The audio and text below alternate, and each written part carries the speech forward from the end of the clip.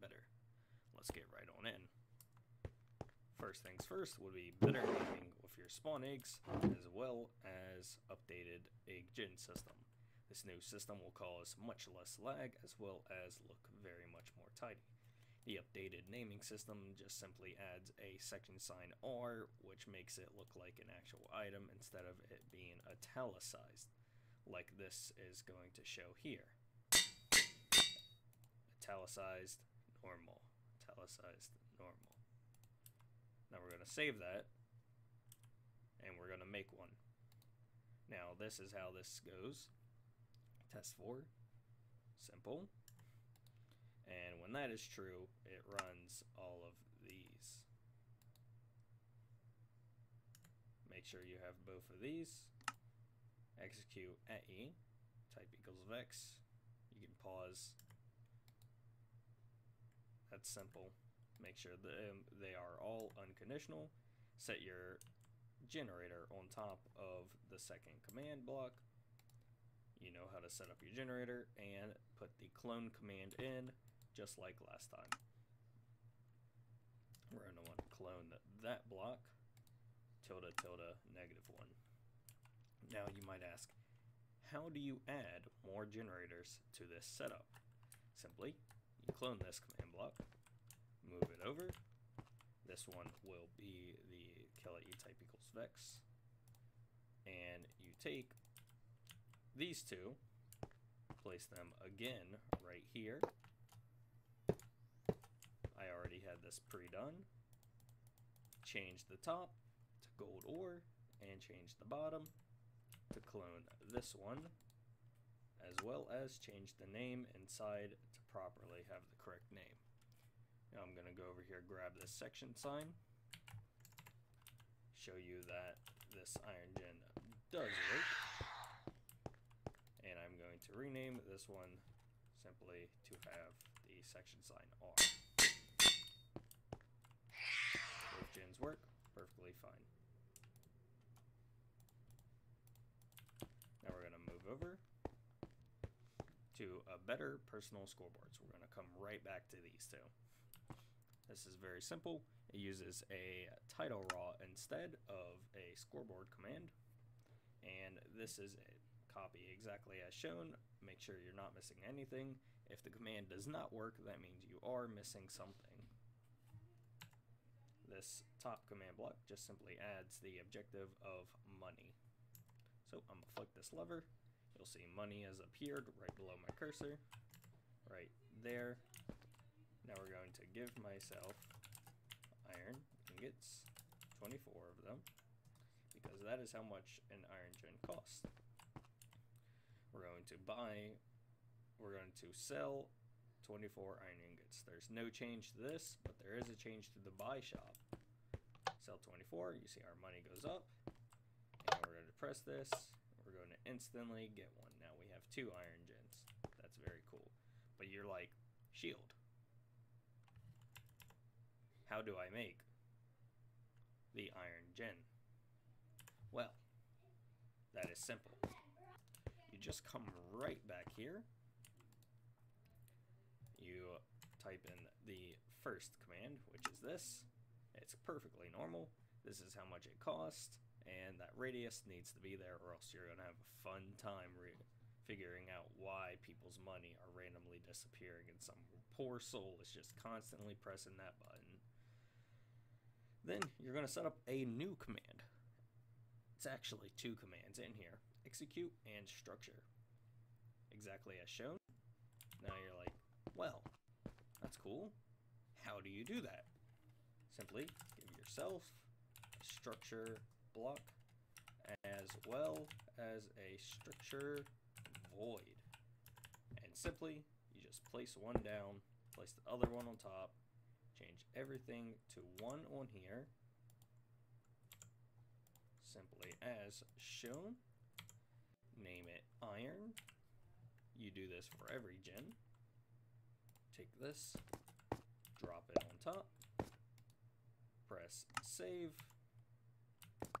and now Now let's change it to a gold gen. Press save, I will drop this on top. I will save that. Break both of these. To put both of those in there as well as all this other stuff. Give S iron ingot 30. Change the name of this to gold instead. Now this will actually purchase a gold gen.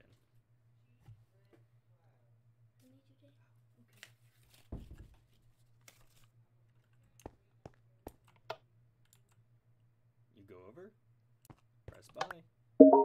Now I've bought a gold gen. Simple as that. Let's move.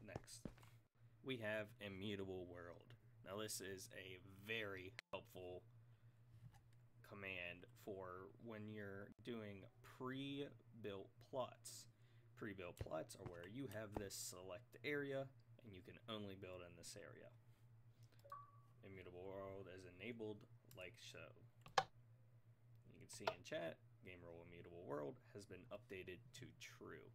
Now, in order to get the command of Immutable World, you need to enable Education Edition. It is in the settings of your world. It will make a copy of your world. Make sure you're going on the one saying EDU.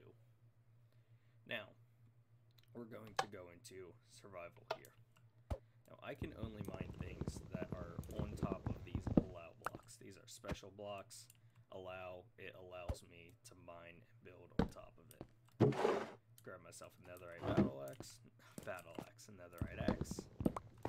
I can do stuff. I can take it, can build, change that to wood, get a crafting table. I can do things on here. Make a chest. And now we have a place to store our axe. Except on this normal grass, I can't do anything. Can't mine, can't break, can't place.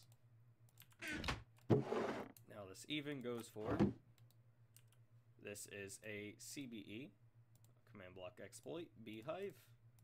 This will even work for beehives, these things that like to cause tons of damage. They cannot place them anywhere on here. They can only place them on these, which I'm not going to place it because it's very dangerous. Which is super helpful.